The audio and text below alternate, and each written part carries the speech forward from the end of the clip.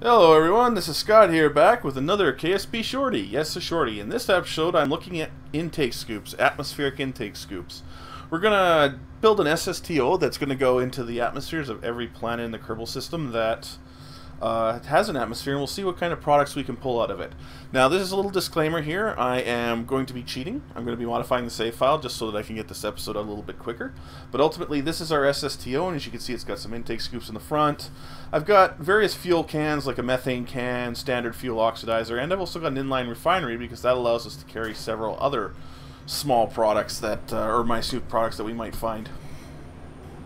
Now, first things first, we're going to D in Kerbin, so we're going to grab Kerbin Atmosphere. As you can see, I've emptied a lot of the, the cans, and I've got the uh, resources in the top right there. But as you can see, we, we go through the products one by one. As you can find, oxygen, when you collect it, with this air scoops, can be converted directly into oxidizer. That's awesome. Now, methane, there is small trace methanes, and there's small traces of hydrogen as well that you can pull from this atmosphere, but the most abundant one is oxidizer. So if you need to get oxidizer for whatever reason, you can just carry an intake scoop with you. And the other nice thing that we're using with this SSTO is I've got the uh, particle reactors, the antimatter reactors, using thermal turbojets so they can work like SSTOs, and they can burn most of the fuels that uh, we'll come across with here in this as well. As you can see, flipping from uh, intake to liquid fuel shortly here, just so that I can get out into the atmosphere. Now there was one other resource we could get out of Kerbin that I missed and I didn't bring a container for, and that was argon. However, argon is the only fuel in the interstellar mod that I'm aware of that will only work with plasma engines. So we're coming in on Duna here right away. Now this has got a very thin atmosphere, so we have to get fairly close to the ground to really get anything out of it.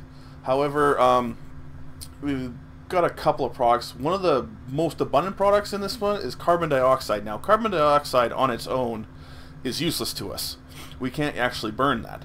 However, if you look at my inline refinery, there's a process on there. This process is called Begin Sabatier ISRU. Now, I hope I pronounced that correctly, but in any case, what that process does is it collects carbon dioxide from the atmosphere and converts it into methane and oxidizer. As you can see, I was trying, but I wasn't low enough. But at this point, I turn it on, and now my um, I'm developing, I'm collecting methane and oxidizer out of the atmosphere directly. So that's kind of cool. Um, so you can still make fuel out of uh, Duna's atmosphere if you bring along one of the refineries. And the other um, refinery as well, the one that's not in line, the Grand Giant Dome really, will work too for this process, which is actually kind of cool. Now we're gonna, there's not too much else on Duna for us to collect in terms of atmosphere, so we're gonna move on here shortly, and I'm gonna head out to Eve. Now, if some of you guys might have noticed, this little design feature that I put on this plane is that I've actually got my antimatter container on top and fuel lines carrying it to the reactors. That does work, which is actually kind of cool. So now we're coming in on Eve here pretty quick, as you can see. Now Eve's atmosphere is incredibly thick, and the gravity is also very dense. So this is uh, it's going to slow this ship down quite a bit. And pulling a vehicle out of Eve is probably one of the biggest challenges in the game. If some of you remember from the last shorty I did, where I was dealing with the reactors, I, I almost got off of Eve with one, but I popped the thermal turbojet. It overheated. Uh, I figured out why that was, and if you look in the uh, this thing behind the B9 intakes, there's a intercooler, and that actually will prevent your engines from overheating regardless of how fast they're going, which is also kind of cool. So anyway, we get down to uh, Eve, and we're coming down to its surface.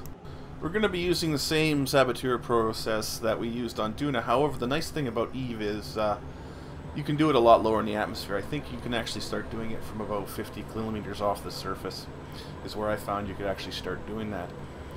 Anyway, but again, this is actually kind of slow because the atmosphere is so thick. I've got to maintain enough speed so that um, this SSTO doesn't basically stall out and start falling. Yeah, Eve is really thick. I found that out when I was trying to. And the other thing about this is when you're using atmosphere in your engines, um, they don't shut off and shut on immediately. It's not like you can just hit X and kill your throttle. You hit X and then your engines throttle down. And then it's the same if you accelerate. They take a while to throttle up. So Eve is a little bit of a tricky thing to take a plane to. However, it is a lot of fun. I recommend it if you get the opportunity. Now we're just uh, basically pulling out of the atmosphere here, as you can see. I'm gunning it to get out.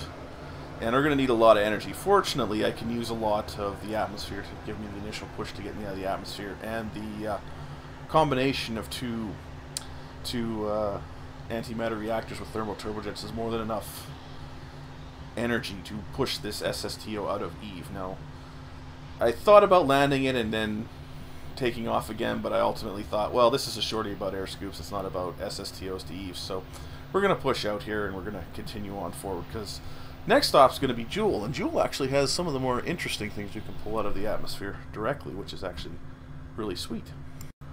So just moving on forward here, just going to finish my last little push out of the Eve so I get enough, and then we modify the save file and come into Jool. Now, Jool is actually pretty sweet because it's a gas giant, so its primary resource, I think, is hydrogen. Now, the interesting thing about hydrogen in this game is this is liquid fuel. If you look what I'm doing right now, collecting hydrogen is actually refueling my liquid fuel tank. You can also pick up ammonia and a couple of other products here, which are also can be used as fuels, but ammonia is much less, much smaller quantities as compared to hydrogen. So if you can get this thing to go into Jool's atmosphere, you can refill, scoop, and then fly out, provided, of course, you've got enough energy to pull out of the Jool's gravity well. One other resource that came up here that I was looking at too was there's, it says that the atmosphere has helium-3 in it. Now, if some of you can remember that the fission reactors can use helium-3 to generate charged particles, which is almost pure electricity without much heat, if any at all. And um, that's supposed to be really good sort of energy. So I went fairly low into Jool's atmosphere with this to try to pull out helium-3. However, no matter what I tried, it didn't work. So I don't know if it's just not available, even though it's there, to be scooped with the air scoops, or like I brought a uh, helium-3 tank with me too, or if I didn't connect it correctly because it's a surface mount tank, and you know that sort of thing. But you know maybe it's something that'll be in the future mods. I don't know. We'll see as we go here because there's some products that you just don't really use for anything right now. And we're just pulling out of Jool's atmosphere here, as you can see. Now, we're going to go to Laythe, which is pretty much like Kerbin, most of you, and truthfully, yes, you get pretty much the same kind of products here. We're coming into Laythe here. Now, this is actually a pretty, really steep uh, trajectory that I'm coming in on. I've kind of realized that at the last minute, so I tried to level out and give me some burn so that I was straighten out, but I ended up losing a little bit of control here as we were going into the atmosphere. I was like, ah, jerk, ah. Oh, well. Um, I was like, oh no, I'm gonna go into the ocean. And then I actually managed to pull out of it though.